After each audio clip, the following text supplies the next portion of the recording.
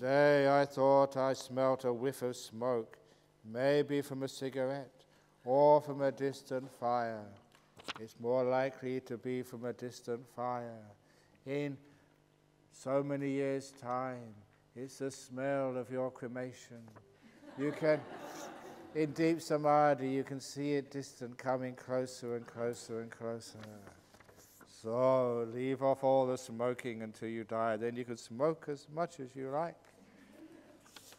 So, you know, smoking is all banned in this monastery of all types smoking cigarettes, smoking trees, or um, smoking dying. So, please, no smoking in this monastery or this retreat center. While doing meditation in the afternoon, my mind was very dull. Was it your mind which was dull, or was it just the mind which was dull? When it's my mind, it's my problem. When it's just mind is dull, it doesn't matter. Nothing to do with me, not my business. Woohoo! Suddenly, and my mind was very dull. Suddenly, an image of me doing the kangaroo hopping meditation popped into my mind.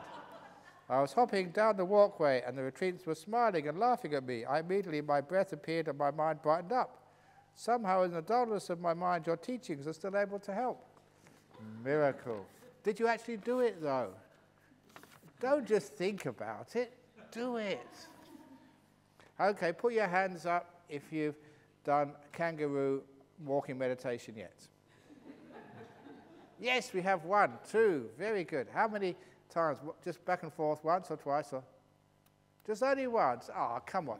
A real kangaroo doesn't just go back and then start walking. You've got at least half an hour. Did anyone see you? Ah, what a shame. Next time, please make sure people see you. Then it makes them happy. And then you're being compassionate to all other beings. You make them laugh. Now, that's a good point, seriously, though, that you see the mind was dull.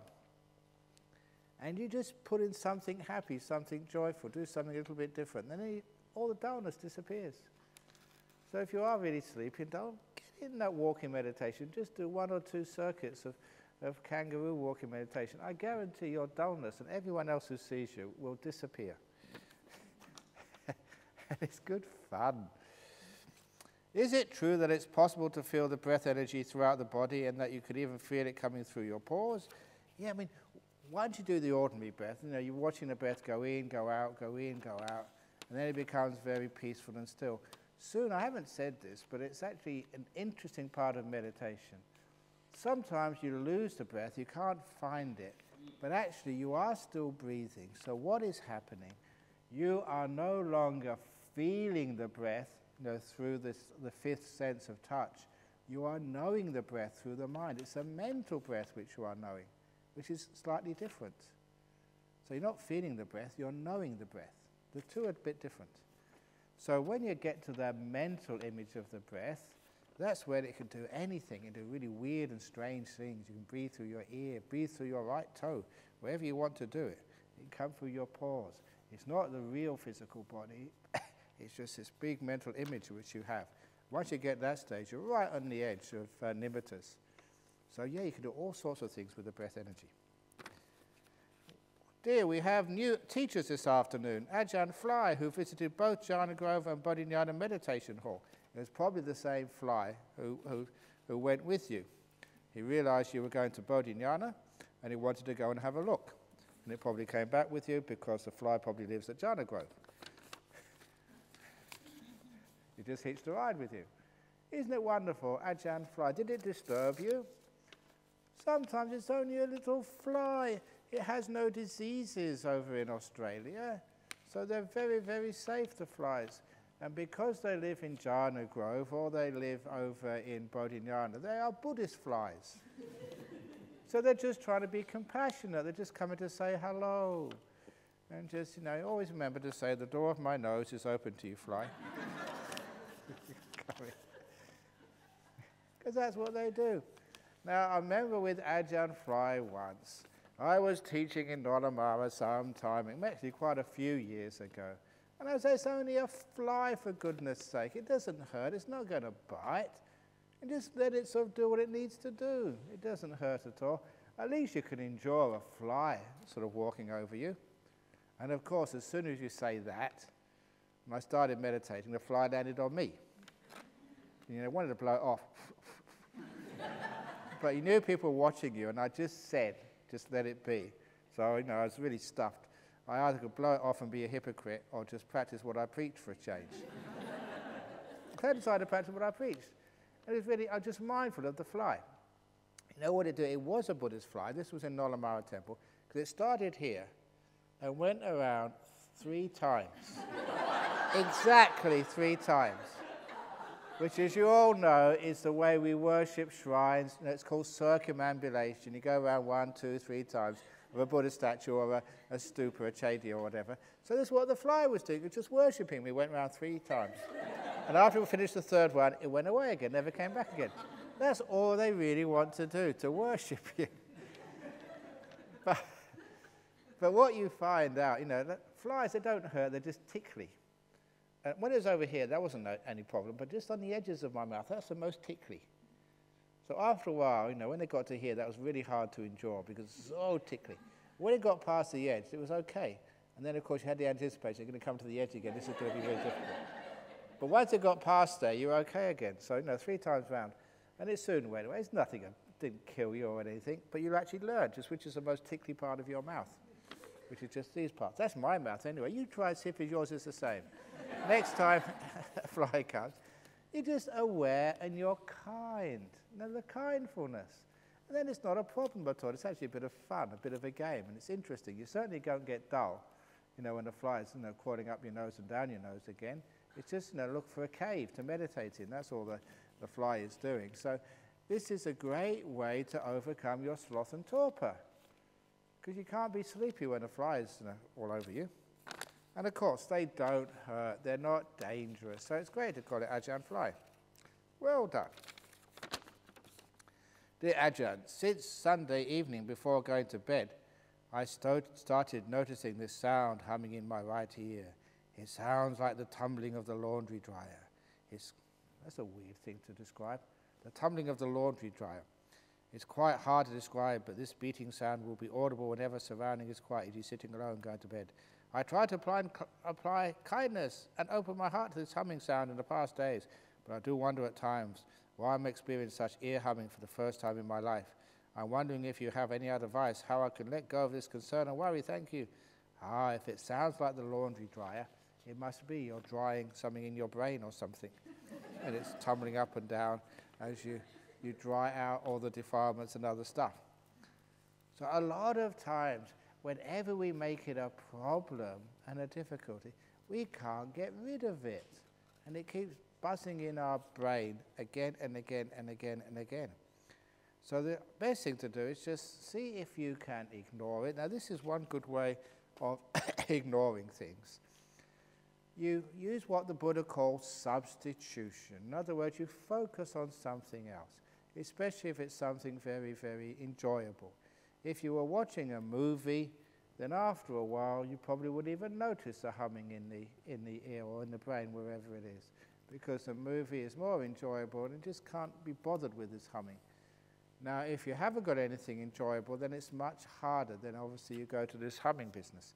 So, number one, you can actually try going into the forest and listening to the birds, listening to the wind in the trees, listening to sound which is beautiful and natural, which will supplant that other sound. And if you are sitting down meditating, then you can be able to maybe watch your breathing. And if that sound comes, now this is the, the simile of the TV set, make sure that your main object of breath is in the middle of the screen. And you can hear that buzzing, but it's on the edge somewhere. Don't make it the main thing, making a problem, because if it's a problem, if you're really concerned about it, it's right in the center of your mental screen. Now, the way this works, as I often say, if you have a TV and you watch a movie on the TV, or watch some sport or some documentary or anything on the TV, you may notice after a few, no, not even minutes, a few seconds, you cannot see the edge of the screen anymore. You cannot see what's on top of the TV, underneath, or to the sides. Your mind actually focuses in to that area in the center of the screen where the action is, and you can't even see the edge of the screen. The frame is disappeared. And that is why you see people on the aircraft now looking at this tiny screen, and they still enjoy the movie. Because even in a tiny screen, if you go back to Singapore or Malaysia, wherever you go back to, or New Zealand, you know, try that. Watch a movie on the screen, and you will notice after a little while, you know, you can't see the edges anymore. You can't see the back of the seat. All you can see is the movie. Your mind has fitted into that little space. And it is precisely the same, no different than if you have one of these huge plasma screen TVs like they have these days. Doesn't matter how big the screen is, it's how big your mind is. And your mind adjusts itself to fit into the screen. You notice that, whether it's a big screen or a small screen, once you're focused, the experience is precisely the same then you don't have to buy these huge plasma screen TVs, which cost a fortune. You can just buy a small TV. You'll have precisely the same experience, and you can give the difference in the cost to the nuns' monastery. but the point of that is that you'd actually fit into the screen, and this is what we do with focusing. So if you actually have the center of the screen, say on the breath, when you first are watching, yeah, you can, you can hear that buzzing. You can hear the sound of people moving. It's, you even have thoughts, but it's not in the center of the screen. The center is, say, with the breath. And you don't know when this happens, but it always happens. After a while, you've just got the breath, and everything else has fallen off the edge of the screen. In the same way, when you watch a, a TV, you know, the, the frame of the TV disappears. You don't know when, but after a while, you can't see it anymore you're focused in to what you think is really important. But if the distraction is important, in other words, this buzzing in the ear is important, and that center screen, then the breath falls off, everything else falls off, and all you've got is the buzzing. So that is actually how the brain works. Whatever you give most importance to, you focus on, everything on the edge disappears. Right, focus on me. Now you'll find the monk sitting uh, on one side of me has totally disappeared. You can't see him anymore, vanished.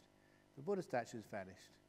It's amazing. When you focus in, you just, what's important is all that actually there is, and everything else on the edge vanishes. So if you make, say, the breath the most important, then that noise will just disappear. And it's amazing, once it does disappear and you ignore it, it usually just disappears once and forever, or at least and if it comes back again, it's not that strong. So that's how to deal with that one. Dear Brahm, not only do my cheeks ache from all the laughing and big smiles, but my heart has the same joyous ache from stretching so wide open. Thank you for showing the way.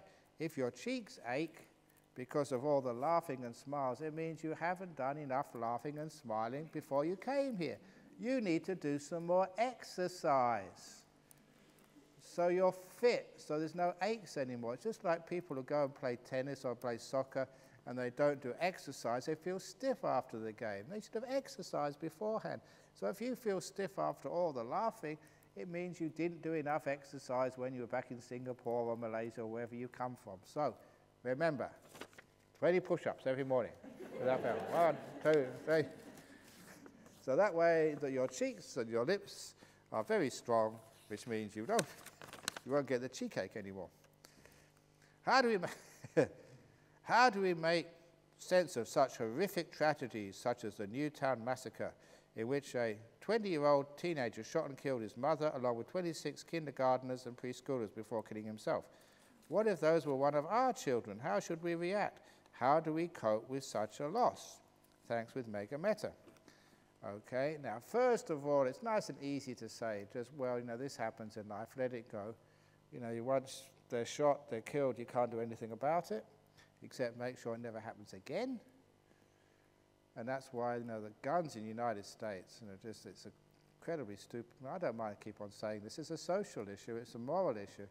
But the fact that people think they need guns to protect themselves when everybody knows in other jurisdictions like Australia, you know, the murder rate is less. We don't need guns to protect ourselves, but guns kill people.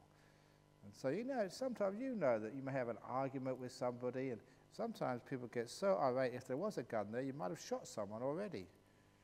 Fortunately, there was no guns around, so you didn't kill somebody.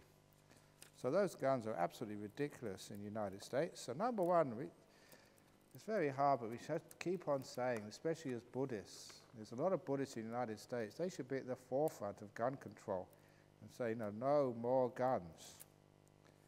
It's really crazy what the guns they have. But if that was you and there was a tragedy, now your child died, and it's not just with um, being shot by someone, it can be you know, with a car crash, it can be a wall falling down. There's all sorts of different ways we might die. What do you do? And of course, the first thing is that you know we just get so disappointed a person didn't have the full life. At least as a Buddhist, you know that they'll have another chance. They died young, but they'll have another chance to get reborn again and maybe have a better chance next time. So, dying is not the end of the world when you believe in rebirth. And if you don't believe in reincarnation, you will in your next life. So we don't. but what a wonderful understanding it is. It is actually true. You do get reborn, reincarnated.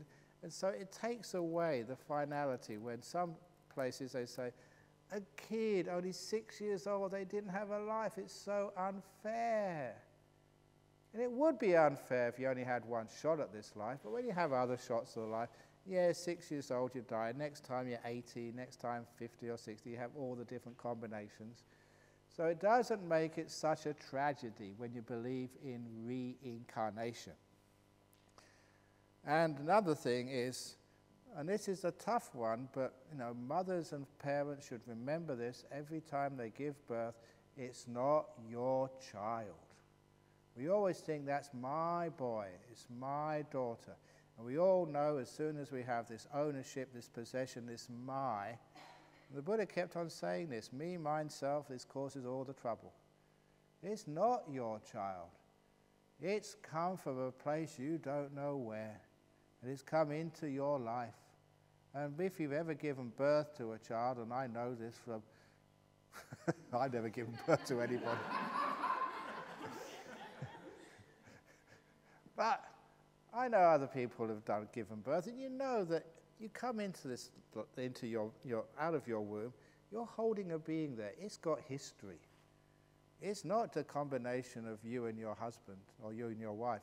This is a new being with history. It's got a past. And so it's an old being coming into your life. It's visiting you. It's, you don't own it. And your job is like a gardener to nurture it, you know, to bring it up. And then when it gets to 18 or 19, earlier or later, it's going to leave you. It never was yours to begin with. And if you could only remember that, a lot of the suffering of having kids would not be yours. You're nurturing, visiting them, they, they come into your life and they're going to go again afterwards. They are anicca, impermanent. They're not yours. It's not my son. Often parents say that. They say, when it's naughty, that's not my son, it's your son. when they're good, yeah, that's my son. but no, it never is your child. And if you can remember that basic Buddhism, when these things happen, you nurture the kid, you loved them to bits, you had a wonderful time together. It only lasted six years. Be thankful for those six years. It's because we have the wrong view and the wrong framework, we have so much suffering. Kids do die. And when they do die, we think, why did they die? They're too young to die. That is where we have the symbol, which I often tell at funerals of kids who die. The old monk who told me this story, he was in a small hut in the north of Thailand, in some jungle somewhere, years and years and years ago. It's a great story. And he said his hut was very simple, just bamboo and thatch, you know, in the jungle by himself. One day there was a storm, one evening, and the winds were so strong that first branches came crashing down, then whole trees were uprooted and came smashing down in the forest right around him.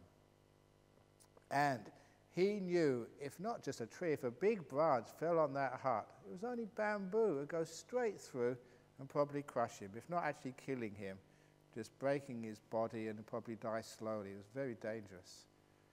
But all he could do is sit there and wait all night. and just hope that the trees didn't fall on his hut. And of course, he could tell the story, which meant that nothing did fall on his hut. And in the morning, wonder why this is, the storms tend to stop in the morning. In the morning, he got out of his hut to look at the damage. And the first thing he noticed, there were some really big branches which just missed his hut. He was really lucky to survive. But then what he noticed, which was the important part of this story, were the leaves on the forest floor the ones which had been torn off by the heavy winds and lay dead on the forest floor, mostly old brown leaves which had lived a full lifespan on the twigs and branches. But among those old brown leaves were many yellow leaves as well. Now, not really fully finished their life. And of course, he saw many green leaves dead on the floor amongst the green leaves, there was a few leaves who had that fresh, know, pale green color to show they'd probably just sprouted the day before, maybe two days before at most. They too lay dead on the forest floor, torn off from life by the wind. And then he looked to see what leaves were left on the tree. And of course, as you would expect, the mostly the green leaves left on the tree. But even though a few young green leaves lay dead on the floor, still there was a few old brown leaves curled up, still hanging on, even though the young ones had died. And he realized just as when storms go through the forest, they pick mostly the old leaves, a few middle aged leaves, some young leaves, and some very young leaves, leaving the curly old brown leaves on the tree. In the same way in life, Life mostly takes the old brown leaves. But it sometimes takes yellow leaves, green leaves, and even leaves which have just been sprouting the day before. They too get taken, the young people, even though a few curly old brown leaves still remain on the tree. And as I look around me, I can see many curly old brown leaves still hanging on while young people die. Is there anything wrong with that? No, that's the nature of storms through forests. That's the nature of death coming through our communities. Why don't you understand the simile of the leaves? Never again will you think something's gone wrong, that young people die, while old people keep on living. This is part of nature. So we have to accept that nature. It's the truth of things. It's the laws of life. So if you understand that, then you may understand why young kids die as well. Dear Ajahn, in Bodhinyana Monastery, there are two photos on the shrine there, Ajahn Chah and somebody else. Who is the other monk? How do you inspire you with metta? Oh, that other monk. That's a secret monk. If you find out that secret, the identity of the other monk, who knows? You may be getting somewhere. That's Ajahn Mun. That's Ajahn Chah's teacher. That's all it was. Ajahn and Ajahn Chah on that shrine. So, how do you be present and be kind at the same time during meditation? It's easy. You be, um, uh, you just here now, you're kind right now. Then you're present and you're kind. Whenever you give a present to someone, isn't that an act of kindness? So, present is a gift, a gift of kindness. So, what you're doing, you're being kind to yourself to let go of the past and the future, which is just a burden. Why do you keep carrying it around? It's mental cruelty to keep worrying about the future, which 99% of the time doesn't happen at all. And as for the past, it's totally gone. You can't change it. You're just burdening yourself. So, it's kind to be in the present. So that's why you're in the present and you're kind at the same time. Being in the present is kind. And then when you're in the present moment, be kind to what, what you're experiencing. Oh, I'm tired. Oh, but I'm kind to the tiredness. I like being kind to the things which no other people like. You like that. You always you know, stick up for, for things no one else likes. That's why I'm really always kind to snakes because not many people like snakes. So if I see a snake, I'm really kind to the snake because no one else likes them. So if I have pain, I'm really kind to the pain because no one else likes pain. So pain, you can come and visit Ajahn Brahm. so whatever I experience, I'm kind to. Happiness, pain, tiredness, I'm kind to tiredness. It's there for a purpose. It's telling me I've been working too hard, too many interviews, too many questions, too much. So it's teaching me a lesson, so I'm kind to it and I respect my tiredness. So that's how you can be present and kind at the same time. Today, dear Ajahn, before meditation, I remembered how the Buddha had used the great earth as a witness to his awakening. I used the recollection of the great earth and its nurturing aspect to calm anxiety in the body and recall that the body belongs to the great earth. What do you think about using the great earth idea as a means of feeling love and compassion towards anxiety? Yeah, this is the Buddha just whenever you see him touching the earth.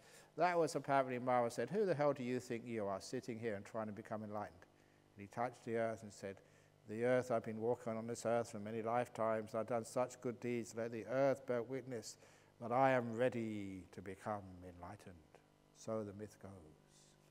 So, there's many things about the earth. One of the great things is that you can. You can urinate on the earth, you can pour scented water on the earth, and whatever you do, the earth doesn't mind. The earth doesn't complain, not like you do. You can make great sounds. Do you complain when somebody bangs the door? The earth never complains. Whatever you do to the earth, the earth is equanimous. That's why it's called great. So that's why whatever happens to the earth, it's always equanimous. That's why you might say, anxiety in the body, be equanimous. It's only anxiety. So just let it be. So that means you can feel love and compassion towards anxiety. You just let it be. And it's good, the sense of the earth does nurture. Doesn't matter what people do to this earth, but it's amazing just how resilient it is. Now it keeps on pushing forth crops and trees and stuff like that to keep us fed and keep the earth beautiful. It's amazing, this earth. So no matter what we do to it, it's still kind back to us. So whatever you do to your mind, it's always kind back to you. So you be kind to the mind, and then the mind will be even more beautiful. Sort of. Anyway, Dear Ajahn, my father passed away last October. The funeral was agreed and, tr- and tried to be conducted in the Buddhist way. However, there is interruption from sister-in-law and her mother who are Taoist.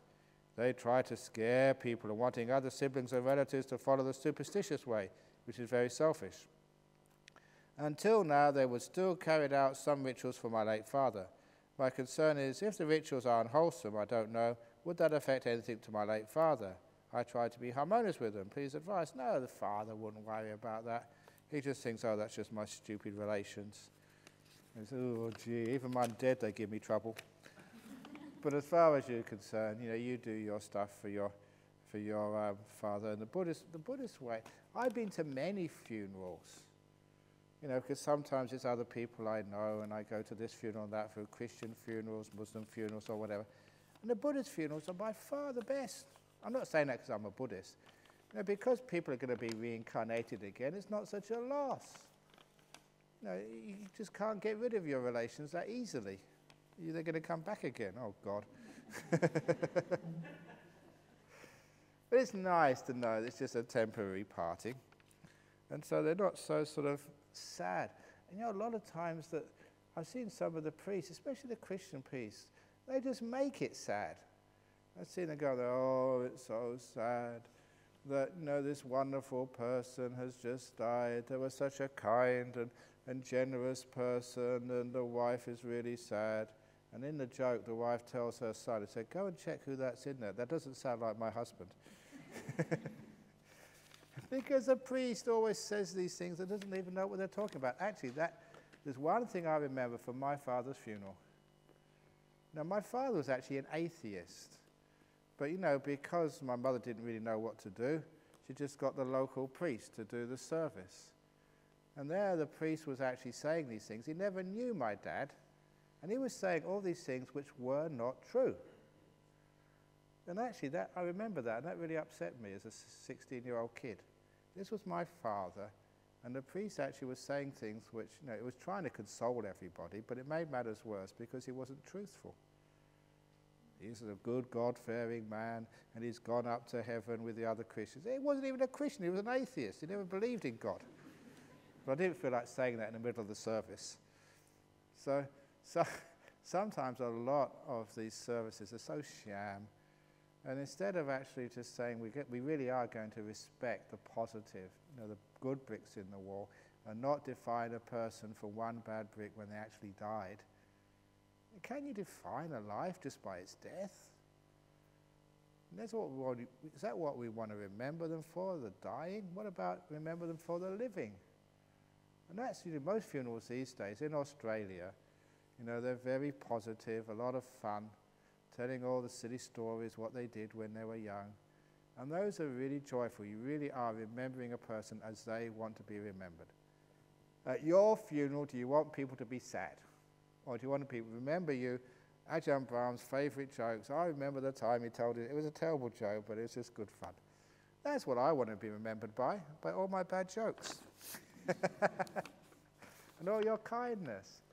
So instead of actually getting miserable at a funeral, please, I mean, do it properly and just remember the beautiful thing about having known that person for so long. What a wonderful time you had together. So much love, so much joy, so much fun. So many mistakes. You were human beings as well. And when you do that, that funeral has meaning. Instead of these really somber and people crying and beating their breasts and goodness knows what else, which is just really ridiculous. So, anyway, that's the best way, is the Buddhist way. Look, I had these great compliments. I remember just giving a, this funeral service once, and the funeral director, these guys who wear black, who sit at the back, he came up to me and said, Look, I've been, it's about the third or fourth funeral you've done. I'm not a Buddhist, but when I die, I'm booking you. That's a really nice compliment, you know, from a Christian who said, No, I want you to do my funeral because that's the sort of funeral I like. I want to inspire people, uplift people. You know, so they remember me with, with joy, with fun, with laughter, not with tears. Dear Ajahn, can you conduct a guided meditation half an hour? Thank you. Or do one at the very end. This was asked earlier. It's really hard to get you all together to do a guided meditation. I did think of doing it at 2 o'clock, but the, when I thought of doing that, I counted there's only about 16 people in here at 2 o'clock, so it's a waste of time. So we'll do one at the very end. Ah, I know this is an interesting one. Sometimes you get some weird. Actually, I think this is the same the same question the other day about having sex and jhanas. It was the same sort of writing. You've got some, it is the same writing, I recognise it. This must be some sort of sex fiend. I, I told my husband that he can have a girlfriend. This is because I don't want to have sex with him, and that is because I'm not in love with him. Is this okay? This is different to the traditional Christian idea of marriage yeah, I got this idea from someone who told me she has a boyfriend while her husband has a girlfriend and it's working out very well. Comments. I don't know whether I should answer this. Whichever way I answer it, I'm going to get in trouble. You know that sometimes, sometimes the Buddha said that one of the ways of answering questions is through silence. I think I might be better be silent on this one. Uh, yeah, sometimes, you know, if you don't love a person, you have a husband or a wife and the relationship's not working out, and if you really can't get it back together again, you know, might as well just wonder why you're living together. You know, might as well just separate and just try again if you really want to. Second time lucky. Actually, they always say that remarriage, the second time round, is a triumph of hope over experience. I like that saying. The second marriage, a triumph of hope over experience. But yeah, I mean, sometimes we fall out of love with people. Basically, that love, like anything else, can be anicca. You know, sometimes it's forever, and sometimes you see people, they really have this wonderful relationship, and it's not just sexual anymore, it's just, they really just have a connection together, an emotional and spiritual connection. They're really good friends, and they're very close together for life. It's wonderful to see that. But sometimes that people marry, especially in the early, marry young, and they don't really know what they're doing just because you know he's hot, she's gorgeous, and they get a nice, you know, they feel good in each other's company. But sometimes that doesn't work out, and after a while they have to get divorced. There's nothing wrong with getting divorced if it's for the right reasons. And if you ever do go through a divorce, a separation, please don't blame anybody and don't blame yourself. It just happens. It's anicca, okay? Impermanent. This is what the Buddha said. It's not somebody's fault. Some relationships last a long time, some relationships last a short time. This is nature. It's not that you've done something wrong or he or she's done something wrong. It's just nature, that's all. So don't go blaming people when you have a separation or feeling guilty or getting really angry at each other. You know, that doesn't help anybody. So anyway, that if you're not really in love, it's best to get separated first of all, I would imagine. Or if you want to sort of try and get it back together again, there's lots of things you can do to help. And of course, the kids, if there's kids involved, that always makes it very difficult. But anyway, sort of, uh, you can convert to being a Muslim, then you can have four husbands. Actually, can, can, Muslim women have four husbands? No, the, the men can have four wives. Because we've got equity these days, you know, gender equality. So I'm sure that these days, would you like to have four husbands? Why is it, and I mentioned this, I think in Singapore, why is it that a man can have four wives, but a wife can only have one husband? The reason is because wives are more intelligent than men. You're stupid to have four wives. Gee, know, there must be idiots to want four. One is more than enough suffering. Can you please kindly explain the karmic effect of a layperson committing suicide under the following circumstances? You got some ideas? To avoid or end physical pain. That's not so bad to end mental or emotional pain. There depends what type of mental pain it is. Usually you can use other things to end mental or emotional pain. Uh, three, no longer serve any person or meaning for living. Did the Buddha commit suicide? He didn't.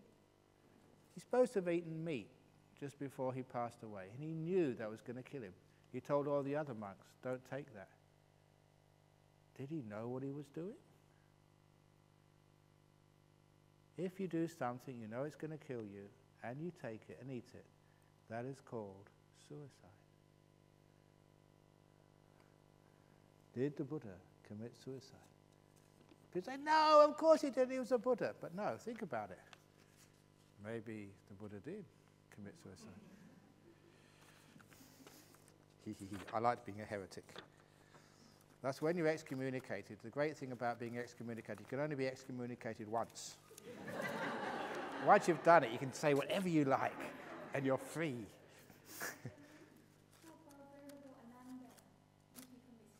exactly, him too. You know his story, according to the commentary. Now, he lived after the Buddha. He was the most famous monk after the Buddha passed away. And of course, what people were looking for, they weren't really respecting his teachings. They just wanted his relics.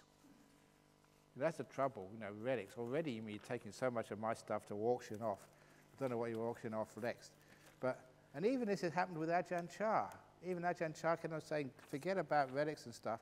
But after he died, they excavated his toilet, looking for relics, you know, in the sort of the septic tank. That's really gross.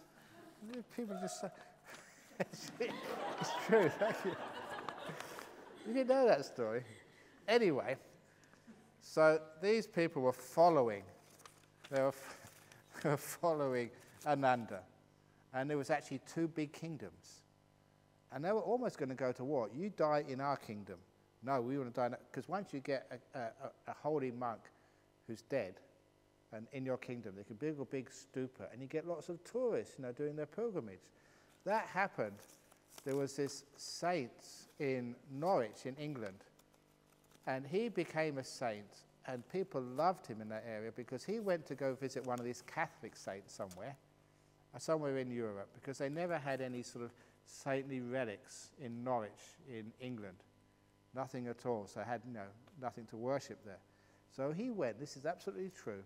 He went and they would expose the coffin of one of these ancient states one day a year, and everybody could kiss his dead corpse. Now that's gross enough, but what this guy did, he bit off the nose.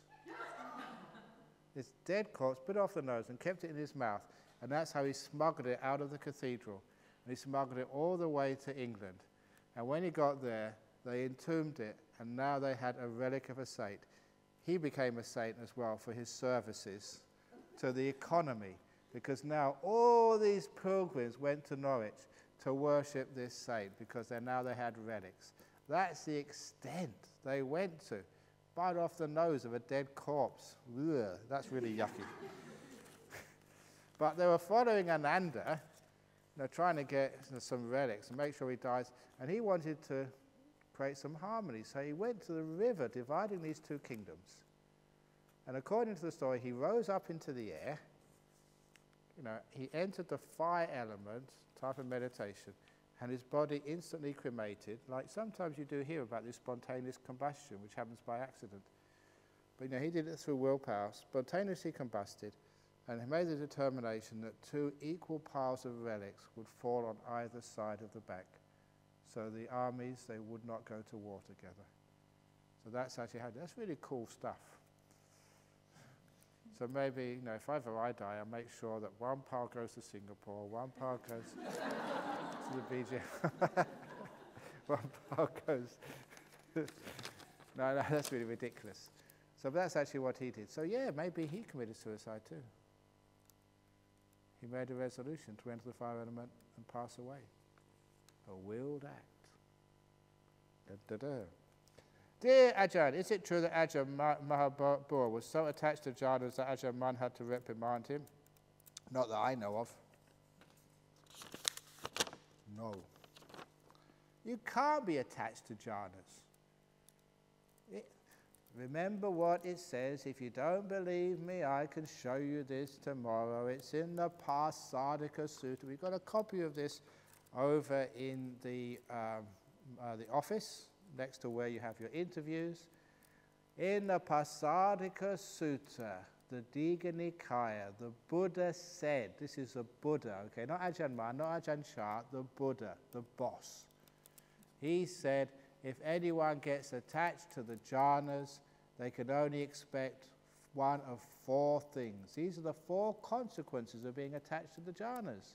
The only four, not five, not three, four possibilities if you get attached to the jhanas. The first possibility is stream winning. The second possibility is once returning. The third possibility is non returning. And the fourth possibility is full enlightenment. The four stages of enlightenment. That's the only thing which happens if you get attached to the jhanas. You're supposed to get attached to the jhanas. That's being attached to the raft which carries you across the stream, the Eightfold Path raft, including the jhanas. Yeah, you eventually let it go. Once you're over the stream, you don't let go of the raft when you're halfway across the stream. People say, as monks, are you always attached or you should always let go? And I said the other day, when you're on the back of a motorbike, attach.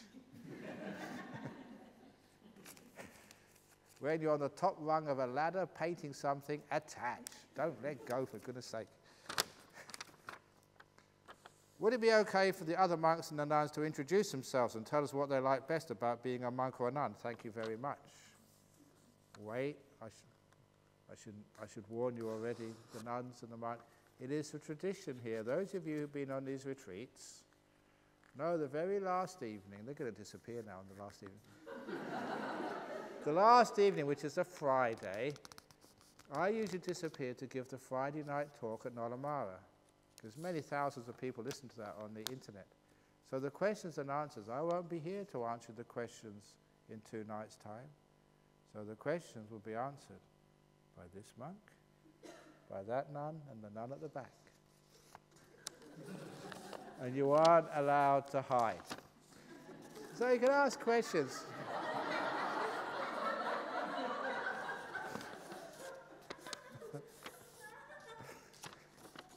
So make, make sure they're not too sort of, you know, uh, hard questions. I remember when we did that years ago, one of the people asked a question. It was you know, the young monks, they were just novices, I think. And they asked, who do you like the best? Um, Scarlett Johansson, Madonna, or I forget the other sort of, you know, some floozy in the media. so they had to answer that question. They're just you know, seeing what type of young monks they were. So you could ask, you know, the young man, say, who do you like the best, Justin Bieber?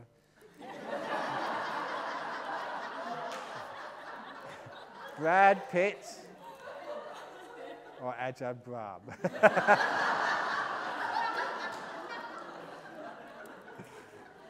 Let's see what they answer. Okay. Have some fun. When letting go, bliss arises. To get into jhana, do I keep watching the bliss or turn to the breath to get deeper? Keep watching the bliss. Basically, the, you know, the mind wants to watch the bliss, so let the mind do what it needs to do. The mind is much more clever than you are. So stop controlling. When the breath disappears, it's meant to disappear. That's the whole point. With the breath disappearing, the five senses have gone. Now you've just got the sixth sense, the mind. It's a natural progress if you just make peace. In other words, you're being aware and you're being kind. It happens naturally. And many people who have their deep meditation, they say it, they never did anything. They just were flowing along with things they never control. They never decide, I'm going to do this, I'm going to do that. That was calm, that was peaceful, which is why they got the jhanas. So just don't do anything, for goodness sake especially when you're deep. You've got so far, so deep. Don't, don't mess it up now by making choices at the very end. Just letting go. There is a Discovery documentary video in YouTube on a Nepalese monk who can float above the ground during meditation. How can this be explained by physics? Are the monks allowed to display such acts pub uh, in public? Thank you. I can't do that because I'm too fat. You'll take. You've got to be very thin and light to be able to lift yourself. no, no, no. It's usually, I don't know about this, but sometimes you don't know whether that's a real documentary or whether it's fake, because sometimes you don't know what's going on in these documentaries these days. You can do anything on sort of um, uh, on TV these days. But you ask, what did the monk want to do that for anyway? What's the point of that? The Buddha said, monks, don't go showing off your psychic powers because that Nepalese monk, if he can float above the ground during meditation, he should be going to Rio de Janeiro for the Brazil Olympic Games. He can represent Nepal in the high jump and the pole vault, and he'd always get gold. Would that, would that be cheating? Do you think? Would that be cheating if we got, say, someone in Singapore to levitate and they could represent Singapore in the Olympic Games. They get the pole vault, they can get the, um, the long jump, they can just meditate, just keep on levitating. And a couple of miles later down the road, no one will beat that. The hurdles, that'll be very easy. So you get lots of gold medals for Singapore if you know you get your monks to actually to, to actually start entering the Olympics. No, it's a very silly thing to do. That's why we don't try and do any tricks. So if we do have psychic powers, we keep them quiet. So nobody knows. Otherwise, you become a lab rat. All these, all these scientists poking things into your brain to find out how come the laws of physics are just confounded by this monk or this nun.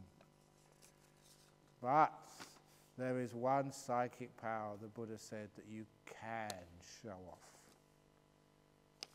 And it's the only psychic power which the Buddha recommended.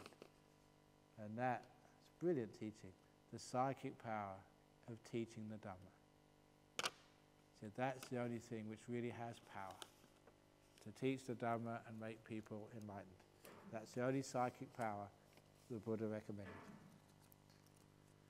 Hi Ajahn, I thought all monks are supposed to shave their head. Why the Buddha is not bald? Why the Buddha's ears are so long? Thanks Ajahn uh, with Metta? That's a great question. I don't know. The Buddha's gone now. I can't ask him.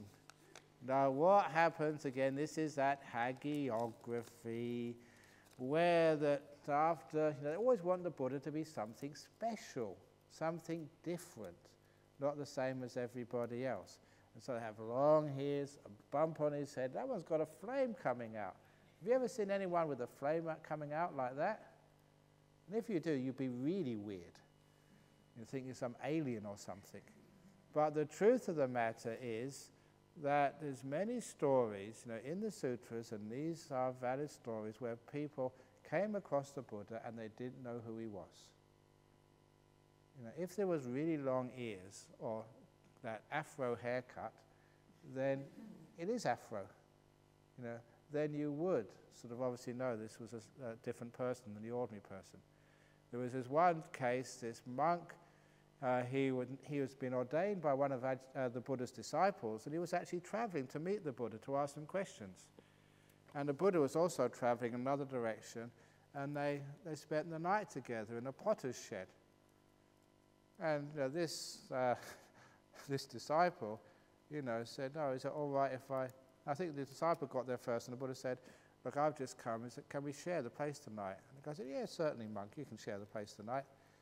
And then sort of the monk started meditating, and the Buddha started meditating, and the monk was finished. Said, this monk is really meditating well, I better meditate as well.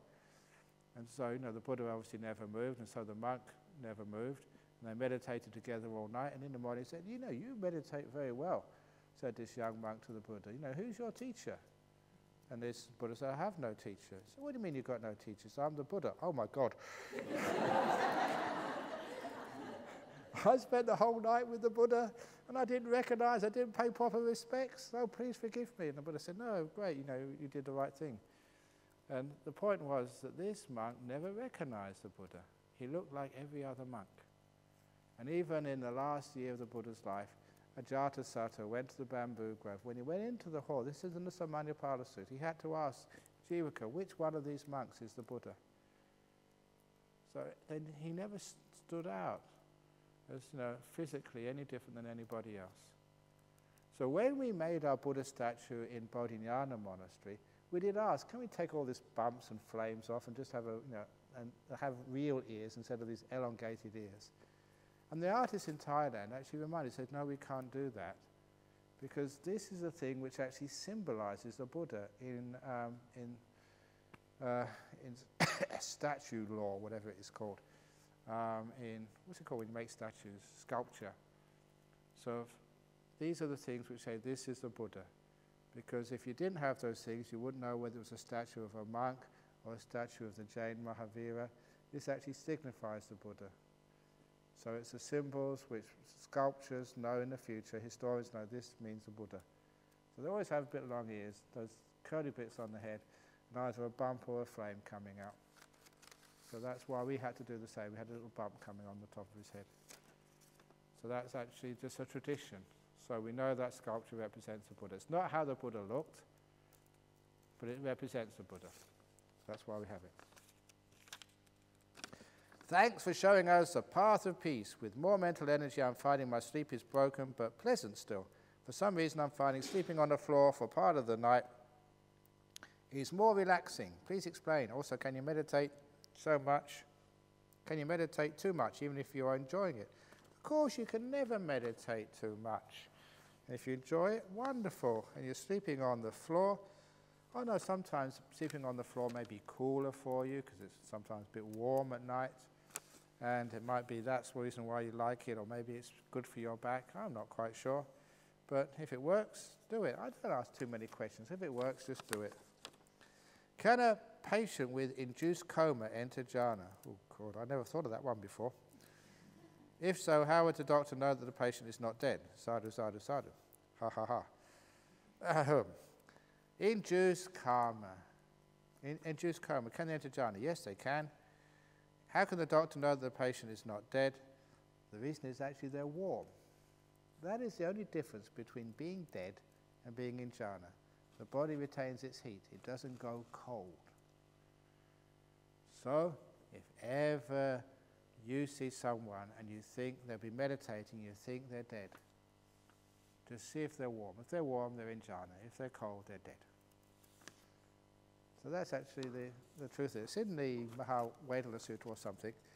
But there was this one guy, you know, you know the story of a guy here in Perth who got into jhana and was taken to the hospital.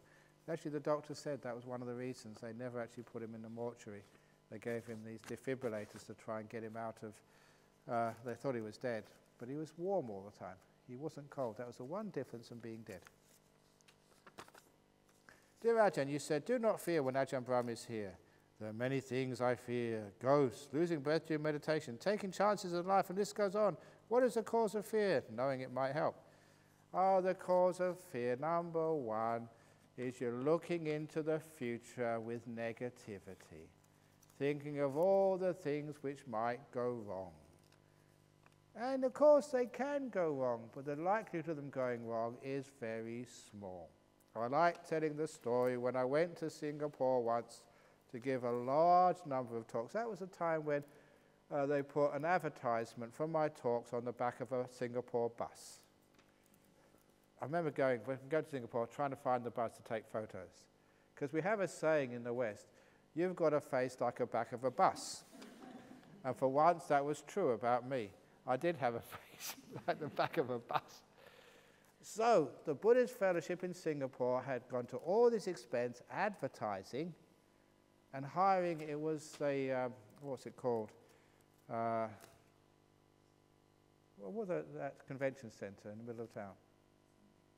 Suntec, yeah, Suntec City, yeah. A big, um, big hall in there. Advertised it for great expense. And that day I arrived was the peak of the SARS crisis. I remember reading the newspaper on the aircraft just before I landed. And it was this big in black letters 99 people had SARS. And the government had closed all the schools. And the Singapore government had asked no public meetings. And I was to go and do four or five talks in a row in this big Suntec auditorium. And the Buddhist Fellowship, they had paid so much money to hire this place and advertise. I remember the committee were there at the Changi airport, afraid. What should we do? Should we cancel? What should we do? And then I told them, let's do some maths. 99, what, what is the population of Singapore? At that time it was about 4 million. So 99 people have SARS. That means 3,999,901 people haven't got SARS. So that means there's a 40,000 to 1 chance you won't get SARS. That's really good odds. If you were making a bet, 40,000 to 1 is a pretty good odds. So I said, let's go ahead. 40,000 to 1 will be okay. And so we did go ahead. And remember, SARS was sudden acute respiratory system. It's a disease of the lungs. How's the best way to avoid respiratory problems? Is to exercise the respiratory system. And what's the best way to do that? But to laugh. So I deliberately told many stupid jokes, made people laugh, sadhu, sadhu, sadhu, make people happy. And they exercised their lungs so much that protected them from SARS. So it was actually a very healthy thing to do. but the whole point was we see 99 people, and that's all we see. We see what's wrong, and we get afraid. Instead of thinking of how many people don't get SARS. We had that uh, in, say, UK in London, an underground tube was blown up by a terrorist and many people didn't actually go anymore on the underground. And if you looked at the odds, the number of people traveling every day, the number of people got killed, it was insignificant. There's more chance of getting killed you know, by probability in a car crash than on the underground with a terrorist. But the people don't think that. They get so afraid they're just not rational anymore. So the story I always remember, Winnie the Pooh Winnie the Pooh and Little Piglet were walking in a forest one day, and there was a storm coming, and trees were falling down. And if one little piglet, he was small, and small people are always scared. So he grabbed Pooh's paw, and he grabbed it so hard he said, I can't go on, I'm too afraid. What would happen if a tree fell when we were underneath it? And that was a possibility in a storm.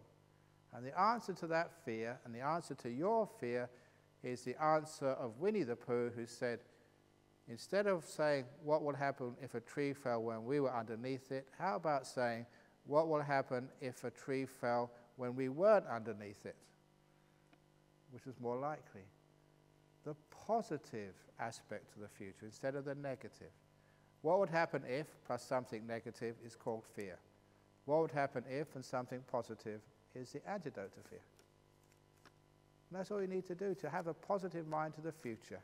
Then you have no fear at all. So, are you afraid of ghosts? What would happen if a ghost came tonight? And the answer is, what would happen if a ghost didn't come tonight? Then you're not afraid anymore. Do you get that? Be positive, for goodness sake. The Ajahn, as I get deeper into my meditation, I see an eye, not human and not benevolent. Ooh, it starts, this is good stuff.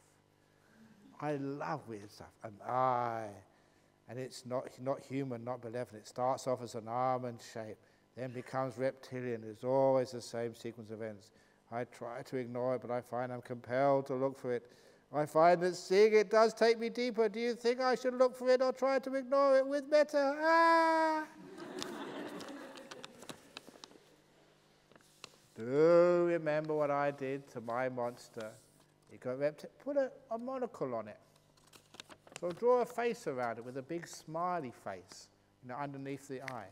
Play with it. Add positivity. Add fun to it. Wink it. and it's so easy to do that. And once you do that, all the fear disappears. You have fun, and that turns into good nimitta. So don't add fear to it. Otherwise, it gets into this negative nimitta. Add positive energy to it. Laugh, whatever. In the suttas, the Buddha frequently recommended striving to achieve that which has not been achieved, to attain that which has not been attained, to realize that which not has been released. This is a bad translation. How do we render this passage into English? How does this fit with your teaching not to regard these states as achievements or attainments, and to let go of striving and effort? How do you achieve that which has not been achieved? How do you attain that which has not been attained? How do you realize that which has not been realized? What haven't you achieved yet? You haven't achieved stillness, peace, freedom. So know what we're going for. When you know what we're going for, then it's quite clear how to achieve stillness, how to achieve peace, how to realize freedom. And the only way of doing that is through letting go, as the Buddha kept on saying. The four ways of letting go in the third noble truth. You know, to let go uh, of all craving, to go against the stream of wanting. It's totally always letting go, to renounce. So it's not a bad translation, but you have to look at it in the context, and it's to achieve that which has not been achieved. What are you trying to achieve? Once you know what you're trying to achieve, it's very clear what the method is. That's why once you know that this meditation is about stillness, about peace, about bliss, about freedom, once you know what it is, then it's quite clear, it's obvious that that thing which you call striving to do things is counterproductive. It just makes more disturbance, which is why so many people, they try to meditate, they never get anywhere. Once you understand its stillness, it's so obvious. You've got to let go to be still. And once you realize, you know, this is about non self. Where does non self fit in? It's obvious. When you do something, your self gets bigger. When you let go, your self diminishes, it disappears. It all really comes together when you put it all together. The striving, the effort is the striving to stop, the effort to let go of craving, which is, you know, to stop, it does actually take an effort. Be still. Dear Ajahn Brahm, may one ask what your mind had been doing before you saw the monster nimitta? Can't remember. I don't know. Dear Ajahn, in terms of living in the present, what do you think of social media websites such as Facebook to reconnect with old friends, keep in touch with people who be, might seldom, if ever, actually meet again? Face to face, is it a waste of energy, an illusion of friendship, or is it useful? Many thanks for your news. I am on Facebook, apparently. I've never seen it, but I've got Facebook and I've got many friends. Someone else does it. So it's totally anonymous and it's fake because I'm not in Facebook. So I don't know because I don't know anything about Facebook. So if it works, fine. But people tend to spend a lot of time on Facebook. So sometimes it's just a bit of a waste of time. If you can just restrain yourself and just spend a little bit of time on Facebook so it really has a purpose. So you make use of it rather than it uses you, then maybe it'll be okay. Dear Ajahn, would someone be tested before he or she get into jhana, for example, heard some weird noises, or felt like someone was behind when doing meditation? I felt a bit scary when I was alone, but that was the best time to meditate. I tried to talk to myself. Buddha statue is here, Ajahn Brahm is nearby here. I felt not so scary anymore, but how if I'm back home and no more protection like in Grove? What should I do when I hear these scary noises again? Please advise, Ajahn. That might be your husband behind you. It might be your cat. Who knows what's following you in your house? Oh, basically, you know a lot of that. When you start to get afraid, you make sort of small things become huge. My story of fear that I was meditating in the jungle once, and I was very mindful. And as I was meditating, I heard a sound of a jungle animal coming to me just after dusk when you can't see, and that's when the animals come out to get their food. So I was very mindful. It was in a bit of a distance. And so I listened to the sound, you know, rustling the leaves and the branches and whatever, and it was a small animal. No problem at all. So I carried on meditating, watching my breath. And as it came closer, I had to reassess it because the noise was much louder than you'd expect from a small animal. It's probably a medium sized animal like a civet cat. Still no problem at all. But as it came closer, the noise got so loud I realized that's not a civet cat, that's a big animal. It could be a bear, you know, it could be even a tiger. And tigers would eat monks. So I was a bit scared, but I thought, no, no, you can be just imagine. As it came closer, I was very aware, very alert, and it really did sound a huge animal. If it was a tiger, it was a big one. So at that point, I opened my eyes and shone my flashlight, and I saw it a tiny mouse. That's all it was. But that really shocked me. You know, how does a tiny mouse sound like a big tiger? And the answer is fear. Fear makes a tiny mouse, it made a tiny mouse in my experience sound like a huge tiger. And I was mindful, I was careful, I was assessing it, I was trying to be reasonable and logical. That can't be a mouse. It sounds too loud. But when you actually see it, it actually was a tiny mouse. The fear made it huge like a tiger. And if you understand that, you understand in meditating at home, and it's a sound of, I don't know what, maybe just a fly or something. It sounds like a monster is right behind you.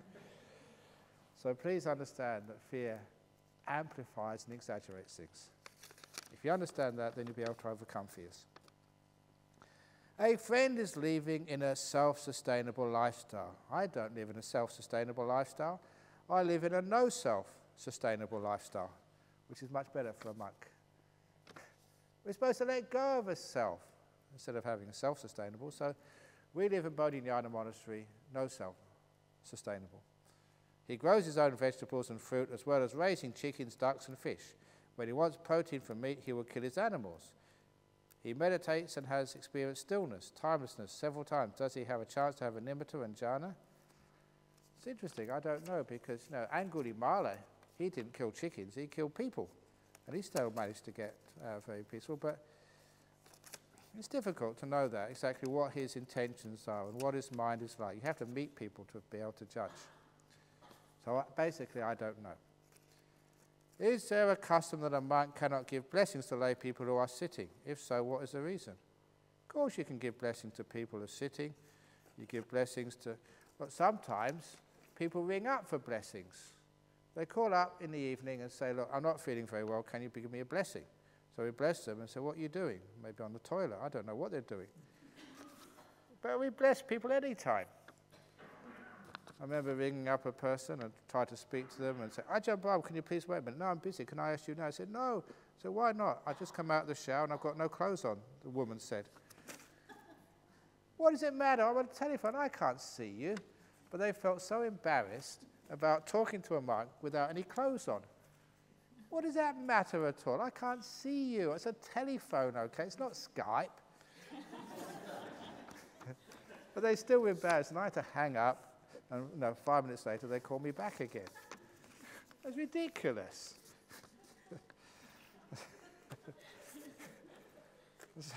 So the customer might cannot give blessings to a, a naked girl uh, over the phone. Of course you can. Or if you are sitting, if so, what is the reason? No, you can, you can always give blessings at any time. Last questions. How to strengthen stillness so that defilements can be overcome.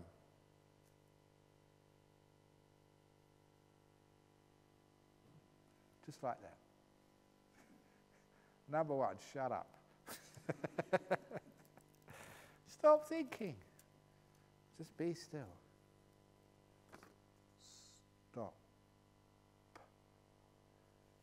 Then you become still.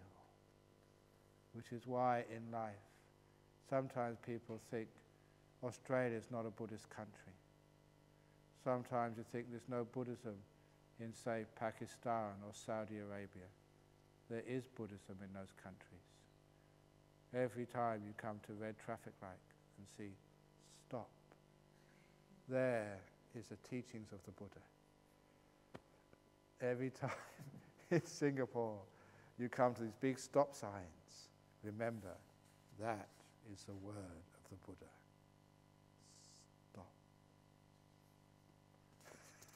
Stop. and then you can become still. Every time in a traffic jam, you're still. You're teaching the Dhamma a lot of times in modern life, there's just so many reminders if we could only just be aware. And then we know the teachings of the Buddha. So stop, and then you're still. Okay, thank you for all those questions. I hope that some of them were interesting, some of them may have been funny, some of them I didn't really know the answers to, but I tried my very best. You know, please don't ask questions about, you know, your husband has sex with your girlfriend or whatever. I don't know the answer to those questions. I haven't had sex for years, for goodness sake, so I don't know what I'm talking about. So, so to make things more useful, please ask questions about meditation instead of this other stuff. But anyway, it's good fun, and I'll try my best. I know one thing, though. I, if I didn't answer your question properly, please write it again. Because one of the worst things I know of a teacher is if they don't answer the question fully, if they disrespect the question. I try not to do that but if I have disrespected your question, I apologize. Write it again and I give it another try. Because all the questions, they come from really pure hearts. You really want to know the answers. Sometimes it's not really relevant, the answer, so I can't really do it fully. Sometimes it's answers I can't give. But I do try my best to respect every question. So if it wasn't answered, then please ask it again. Okay. Sadhu. Sadhu, sadhu.